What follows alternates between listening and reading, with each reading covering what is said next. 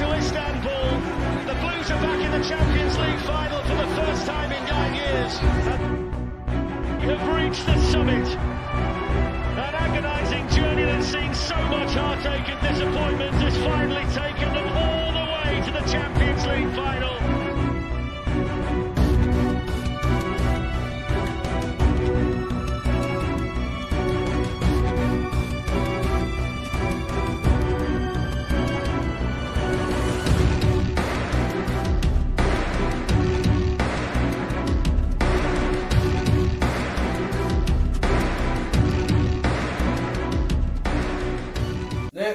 안녕하세요.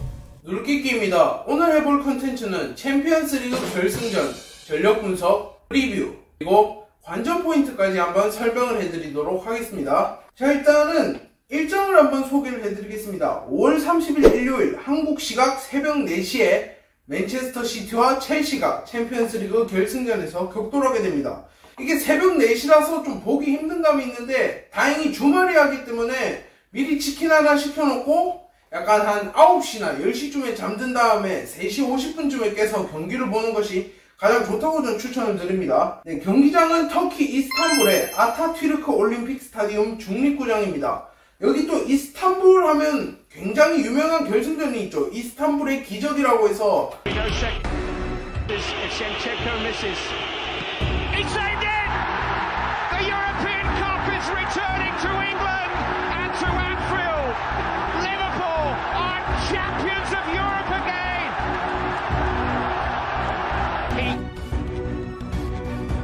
리버풀이 그때 AC밀란에게 대역전극을 성공한 그런 드라마가 있는데 이번에는 과연 어떤 드라마가 그려질지 굉장히 궁금합니다.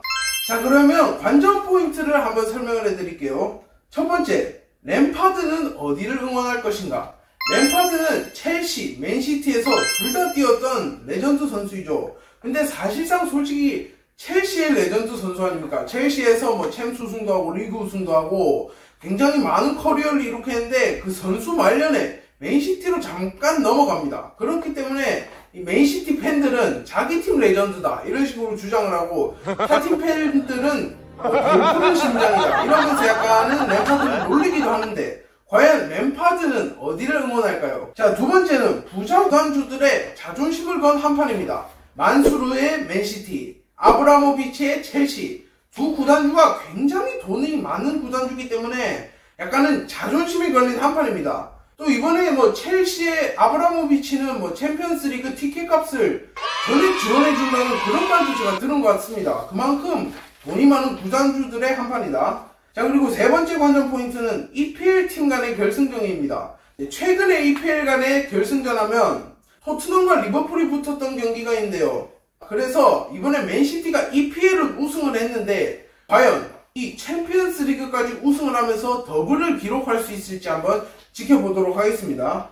자 그리고 네 번째는 잉글랜드 국가팀의 초신성들의 맞대결입니다. 잉글랜드 국가대표를 이끌어갈 맨체스터 시티의 필 포든 그리고 첼시의 메이슨 마운트가 네, 한판 격돌을 하는데 이 둘 중에 한 명이 과연 골을 넣을지 안 넣을지 그것도 굉장히 궁금합니다. 자 그리고 다섯 번째 관전 포인트는 동명이인 간의 맞대결입니다.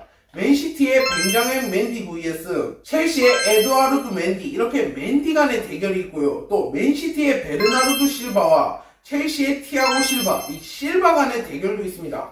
과연 어떤 맨디, 어떤 실바가 이길지 한번 지켜보는 것도 굉장히 재밌을 것 같습니다. 자 그리고 마지막 관전 포인트는 맨시티의 창단 첫 챔피언스 리그 우승 도전입니다. 맨체스터 시티는 챔스 우승이 단 한 번도 없는 팀입니다. 첼시는 챔스 우승을 한 팀이지만 맨시티는 더욱 간절하게 뛸 것 같습니다. 자 그러면 최근 전력 분석을 한번 해보겠습니다. 일단은 최근 5경기에서 맞대결은 맨시티가 2승, 첼시가 3승을 거뒀습니다. 그래서 최근 5경기 맞대결 전적은 첼시가 근소 우위에 있다는 것을 확인할 수 있었고요.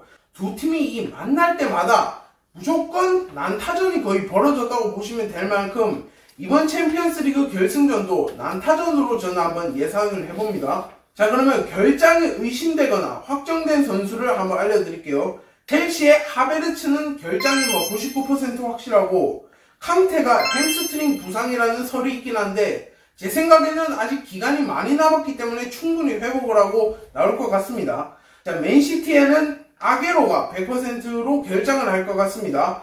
그리고 뭐 권도한, 워커의 미미한 부상 설이 있긴 한데 제가 볼 때 이 두 선수도 결국엔 나올 것 같습니다. 자 그렇게 되면 사실상 주요 전력이 모두 나오게 되는 양 팀이 되겠습니다.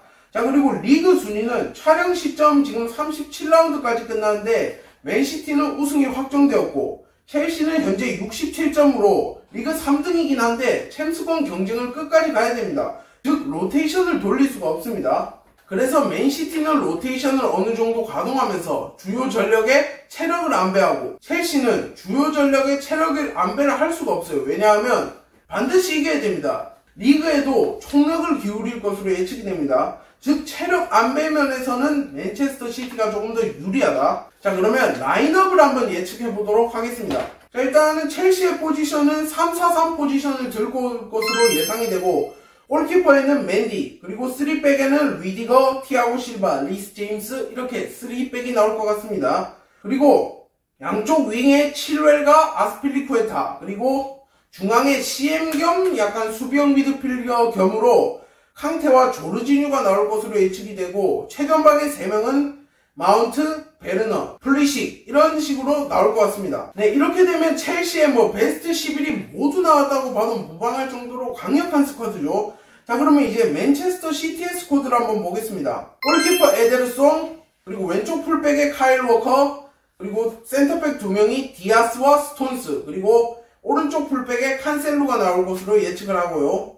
자 그리고 세 명의 미드필더는 베르나르드 실바, 페르난지뉴 그리고 일카이 귄도안까지 이렇게 세 명이 나오고 공격진은 필 포든, 더브라위너, 마레즈 이렇게 나올 것 같습니다.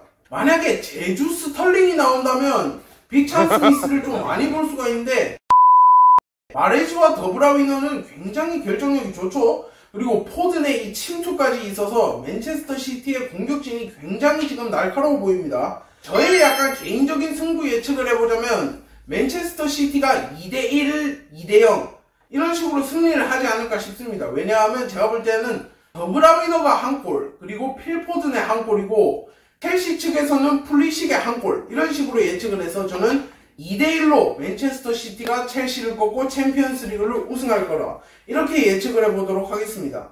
네, 이렇게 프리뷰와 전력 분석 그리고 관전 포인트까지 모두 설명을 해드렸는데 여러분들도 만약에 이 경기는 이렇게 될 것 같다 아니면 뭐 궁금한 점 같은 게 있으면 댓글로 자유롭게 달아주시면 제가 소통을 해드리겠습니다. 네, 오늘 챔피언스 리그 리뷰는 여기까지입니다. 감사합니다.